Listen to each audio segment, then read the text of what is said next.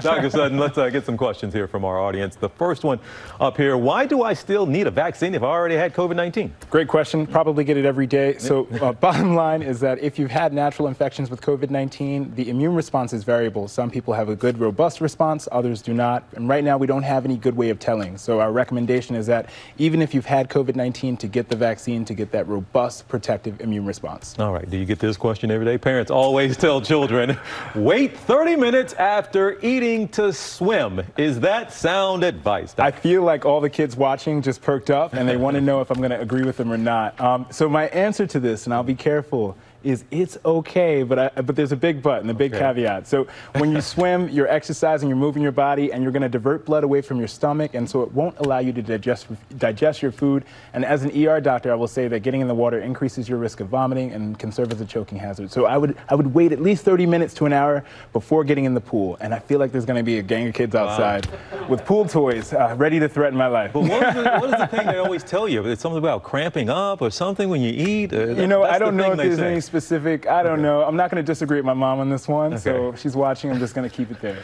All right. you can submit your questions to his mama on her, and no, to uh, Dr. Sutton on his Instagram at dr.darien.